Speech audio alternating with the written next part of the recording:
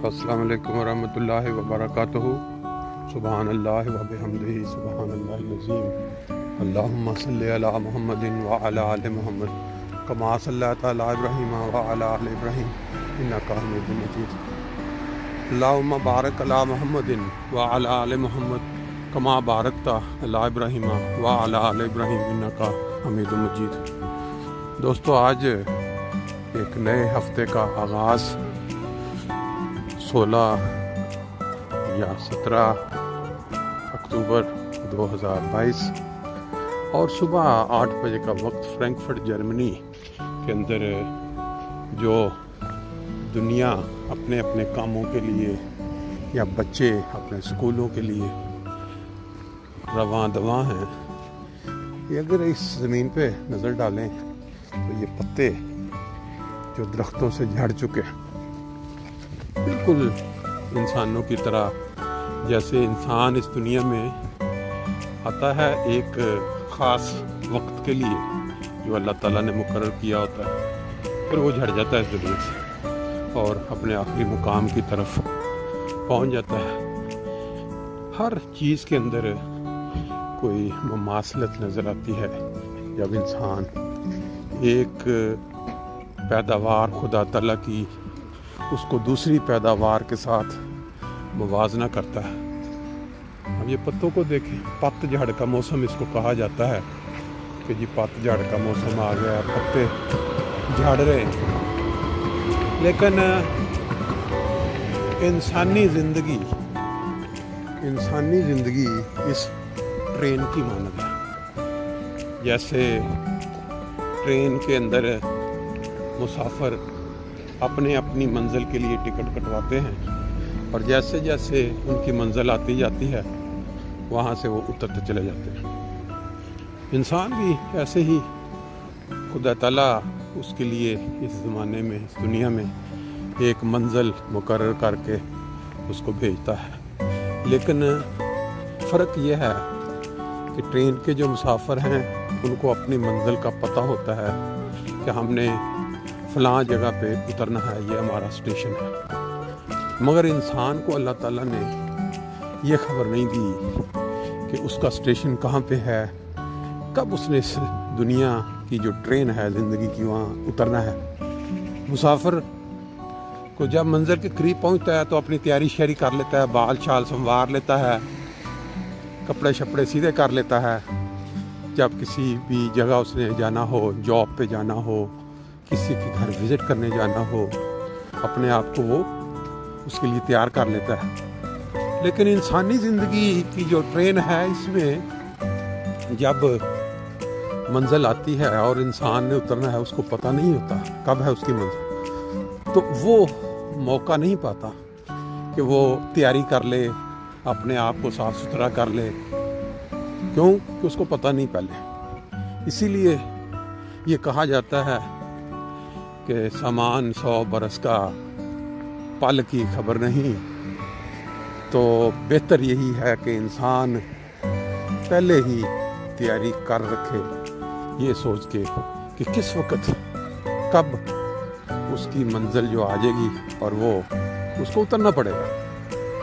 आप देखेंगे इस दुनिया में आप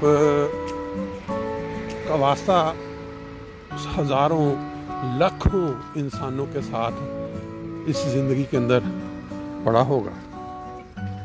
आपने तरह तरह की सोच के लोग देखे होंगे। रिश्तों में आप देख लें, मियाँ बीवी का रिश्ता सबसे ज़्यादा करीबी होता है और सबसे ज़्यादा जो वक्त है, वो मियाँ बीवी के रिश्ते में एक दूसरे के साथ ऑब्ज़र्व करने का मौका मिलता है नेचर को। फिर उसके बाद आप देखें माँ बाप के घर में बच्चे जब पैदा होते हैं, बीस साल, पंद्रह, अठारह जब तक वो शादी नहीं हो जाती लैदा नहीं होते, उस वक़्त उनको मौका मिलता है माँ बाप को ऑब्ज़र्व करने का माँ बाप से सबक सीखने का। और वही उनकी जो बुनियाद है, उसी पे सारी ज़िंदगी की जो बिल्डिंग तामीर होती है। अब ये इंसान, खुशकिस्मत इंसान है वो जिसको ऐसे माँ बाप बतौर नमूना सामने मिल जाते हैं, जो आने वाले वक्त में उस औलाद की ऐसी तरबियत का बायस बन जाते हैं ऑटोमेटिकली कि जो तामीर हो, अमारत उस पर यानी उसका जो करेक्टर की अमारत तामीर हो, इतनी मज़बूत हो कि लोग ना सिर्फ़ उसकी बल्कि उसके माँ बाप की भी तारीफ़ करने पर मजबूर हो जाए। कि क्या वालदेन की औलाद, कैसे थे वो वालदेन जिन्होंने ऐसी औलाद पैदा की उस उन्होंने ऐसी तरबियत की, ऐसा करेक्टर बनाया कि कमाल है। खुशकस्मत हैं, बहुत सारे इस दुनिया में लोग खुशकस्मत हैं, जिनके वालदेन ने अपनी औलादों की तरबियत अपने करेक्टर से, अपने अमली नमूने से ऐसी की कि आने वाली दुनिया ने जब उस औलाद को देखा तो उनकी ज़ुबान पे ये आया कि कैसे होंगे वो वालदेन जिन्होंने औलाद को इस तरह पाला, इस तरह उनको अकल, फहम और ज़माना शनासी के साथ परवान चढ़ाया।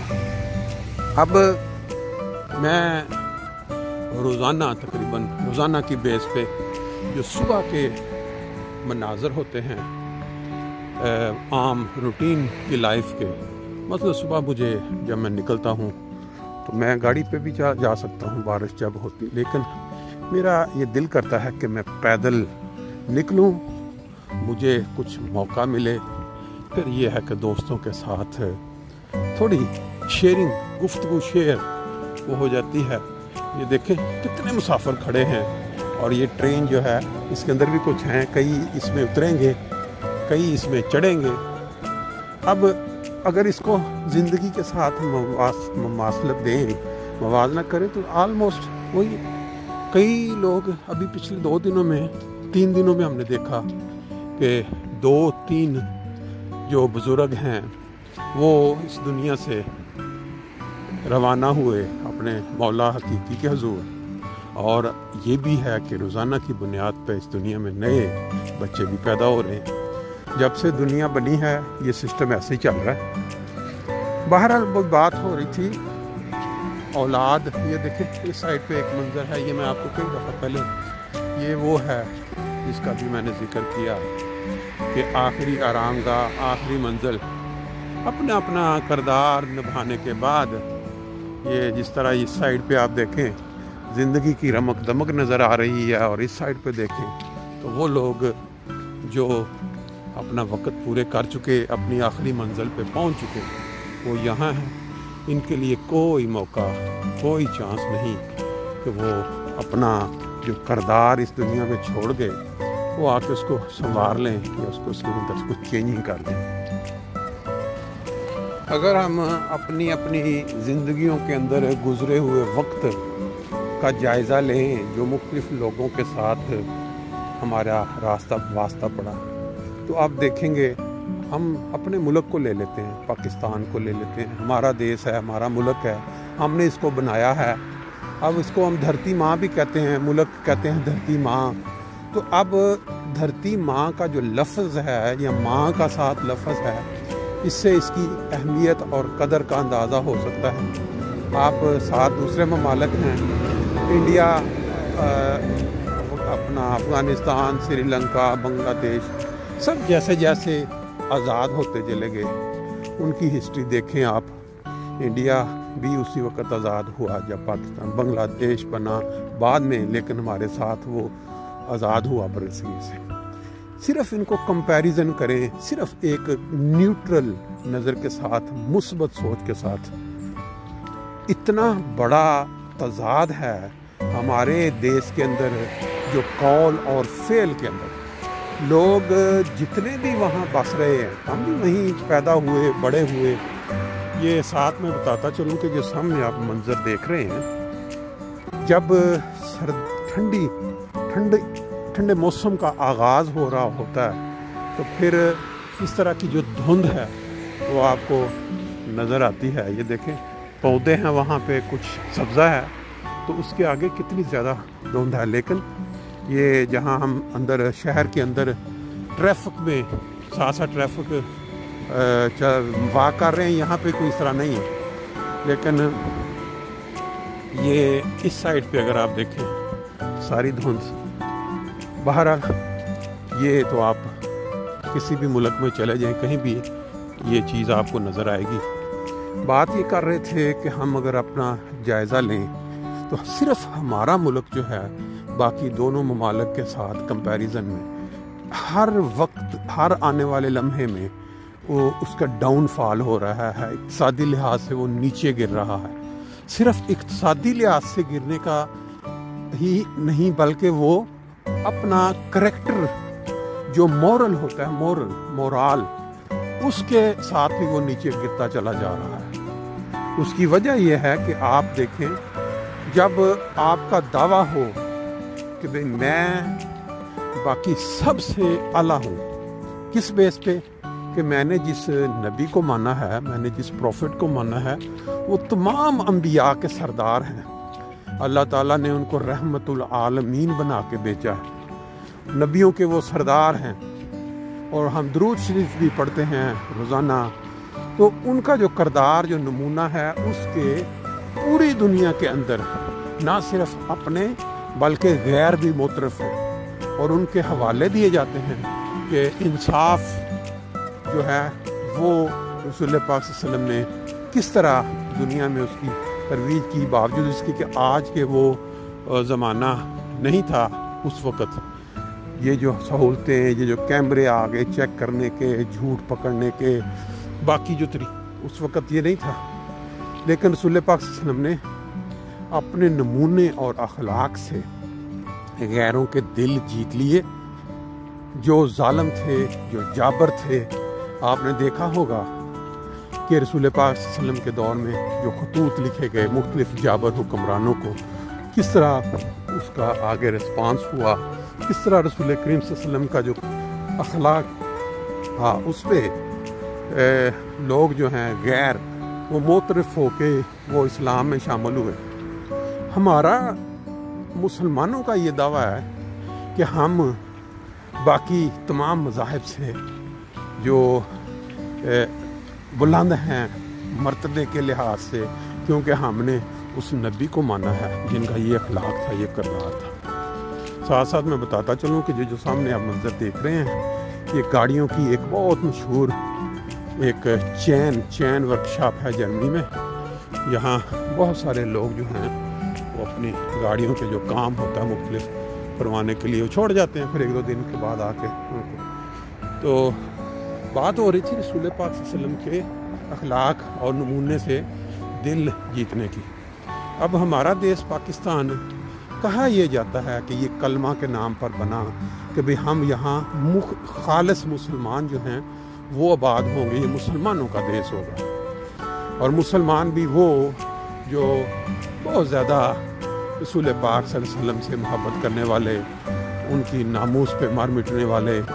तो अब आप प्रैक्टिकली देखें, जायज़ा लें। हमारे देश में जितने भी लीडरान आए उन्नीस या तिरवंजा, उन्नीस के बाद उन्होंने आके मज़हब, जिस बेस पे ये मुल्क बना, उसी बेस को इस्तेमाल किया अपने ज़ाती मकासद अगराज हुकूमत में रहने के लिए, कुर्सी वो जो होता है ना, नशा, ताकत का नशा, हुकूमत का नशा, उसको, उसमें वो मदहोश हुए और उन्होंने ये भी ना सोचा कि हम अपने ही उस मज़हब को इस्तेमाल कर रहे हैं। जिसकी बुनियाद पे ये मुल्क लिया गया था। ये हकीकत है या नहीं है? इसके ऊपर आज के जो हालात हैं, जिस तरफ़ पाकिस्तान पहुँच चुका है, वो आप खुद देख कोई मजहबी लीडर तो दूर की बात, कोई दुनियावी लीडर जो सियासी लीडर है, जब तक वो मज़हब को इस्तेमाल ना करें, मज़हब का सहारा ना लें, उनको अपनी कुर्सी डगमगाती हुई नज़र आती है। प्रैक्टिकली आप देख लें, जितने वज़ीर अजम आए हैं, जितने वज़ीर अला बने हैं, जितनी असम्बलियाँ बनी हैं, जितनी नेशनल असम्बलियाँ, उनके अंदर यही बात गश्त रही है। चौहत्तर के बाद, या उससे पहले कि फ़लाँ जो हैं, वो उनको काफर करार दे दो। फ़लाँ जो है, फ़िरका, वो उनके अकायद ठीक नहीं है, हम उनको ये कर कर देंगे। लेकिन जब पाकिस्तान बनाया गया कायद अजम ने, कि वो अल्फाज भी सभी को याद होंगे कि यहाँ किसी भी शख्स को अपने मज़हब या अकीदे के मुताबिक अमल करने से नहीं रोका जाएगा। यानी वो सब मज़हब, सब सब जिस मज़हब से को तल्लक होगा, वहाँ रह सकते हैं, आज़ाद रहेंगे। लेकिन हुआ प्रैक्टिकली उसके ख़िलाफ़। और सबसे बड़ा जुल्म ये कि दावा ये कि रसूल पाक सल्लल्लाहु अलैहि वसल्लम की हम उम्मत हैं। और उनके अखलाक और उनके करदार और उनका नमूना, उसकी दजियाँ इसी बदबख्त कौम ने, इसी इन्हीं लोगों ने उड़ा के रखी अब ये देखें, कहा यह जाता है, जी ये मस्जिद जो जो हैं, मस्जिदों के जो मीनारे हैं, वो हमें तकलीफ़ पहुंचाते हैं हमारे दिलों को।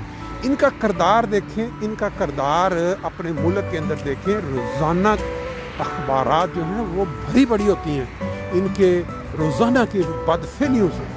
मसाजिद को भी नहीं इन्होंने बख्शा, मदरसों को भी नहीं छोड़ा, घरों की तो कुरान मजीद पढ़ा। अब वो कौम जिनका करदार अपना ये है, उनमें वो लोग उठते हैं, दाढ़ी रख के रात को ख्याल आता है कि इस, आज सोशल मीडिया के दौर में किस तरह हम मशहूर हों। हमें कोई शख्स जानता नहीं है। हम बड़ा कोशिश कर चुके चलें, फिर सुबह उठते हैं, जाके चार बंदे साथ खड़े किए। एक मस्जिद देखी कि इसके ख़िलाफ़ है सारी कौम और जो मीडिया का रुख चल रहा है, इधर हमारे लीडरान भी इसमें हाँ साथ देंगे। वहाँ जाकर सामने खड़े होकर नारे लगाने शुरू कर दिए कि ये मस्जिद के मीनार हमें तकलीफ़ दे रहे हैं। ये महराब हमें तकलीफ़ दे रहा है, अगर ना कराया गया तो वो मीडिया आ जाता है, वहाँ उनकी मशहूरी हो जाती है। ये रवश बन चुकी है पाकिस्तान के अंदर और बदकिस्मती से जो लीडरान हैं, वो भी उनकी साथ मदद कर रहे हैं। अब आज मेरा ख्याल है यहीं तक रखते हैं, क्यों कि अपनी मंजिल जहाँ हम रोज़ाना सैर के लिए निकलते हैं, वो आ गई है, बाकी